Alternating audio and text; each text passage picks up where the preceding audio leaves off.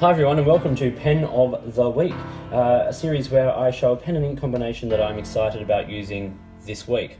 Last week I was using uh, the Jinhao 159, uh, which is one of their big hefty old metal pens, uh, with a steel Goulet uh, Jowo broad nib, and had that inked with Krishna Inks Monsoon Sky.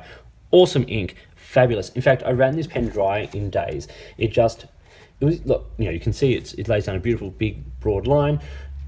It just I just worked through it. I just loved writing with it. It feels great in the hand. It writes so well. That pen size with that nib, gold, amazing. This week, I have my Pelikan M805. So going from you know sort of an affordable uh, Chinese pen to a slightly less affordable uh, pen here uh, from Pelikan the M805, which is this beauty here. And now I'm using this with Diamine Oxford Blue. Now this ink used to be exclusively used in my Visconti Homo Sapiens, but after having used the, the Homo Sapiens as my writing pen for a lot of weeks, I've decided that I actually want to get a fine nib on it. I had a medium, so I am looking for a fine nib. If you happen to have one that you don't want, that you want to maybe pass on at a reasonable price, get in touch and let's see. Uh, but yeah, I a fine nib for that Visconti Homo Sapiens. Not the extra fine, the extra fine is just a bit fine. The fine, I think, feels about right. Anyway, that's beside the point. Let's talk about this this uh, combination for this week. Uh, so Diamine Oxford Blue in the Pelikan uh, M805. Now, it comes in multiple sizes as well as cartridges, this ink. It's lovely. Um, I have it, of course, in the 18ml bottle as well, which, um, you know, I think is a really nice bottle. Uh, and Diamine inks are great. I love them. Firstly, this pen though. The size of this pen is great. Now, just alongside a Lamy Safari for size comparison, like you can see it's just slightly, slightly bigger. Um, and you do notice that in the hand, particularly with the grip section where it's just a little bit, you know, a little bit wider, um, but it fits so on the hand. It's got such a lovely size. Um, it's a generous medium, like that's quite a quite a thick medium line, which is what I like. Not for an everyday writer, uh, like the Visconti, which is a fire hose as well, uh, but like for sort of more pronounced writing, which is what I've been doing a bit recently. Let's talk about build quality. So firstly, just listen. Those threads are just beautiful. This pen is made to an exquisite standard. Um, no one will ever deny the quality of the make of these Pelikan pens. Just beautiful. And I won't operate it because there's ink in there, but the piston, one of the smoothest you'll ever, ever feel. Just amazing. Now this ink, this is a rich dark blue. I think it almost verges at times on a blue-black if it's in a pen like this. It's certainly blacker than a lot of blue blacks, say Pilot Blue Black, for example. It's got some interesting red sheen if that's your thing. Um, the ink is affordable. These inks are not expensive.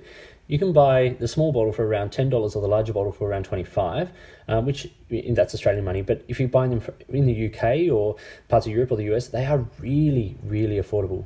It's fabulous. Like, they are great great inks.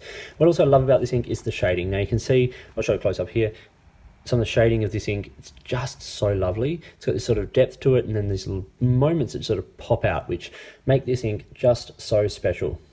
There's a reason this was on my top five list last year. Okay, so let's continue, let's do a writing sample. Let's continue through um, Dracula by Bram Stoker. Um, so we've got,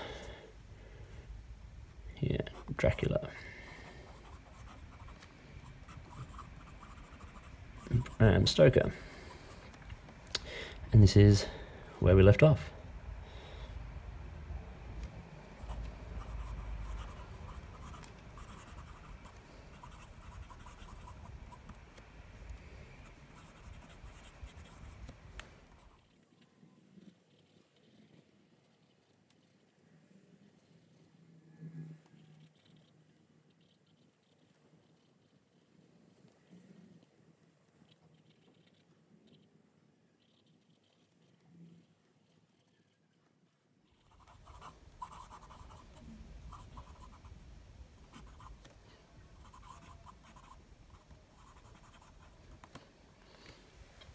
Okay, so you can uh, see and hear there that uh, this pen is pretty smooth.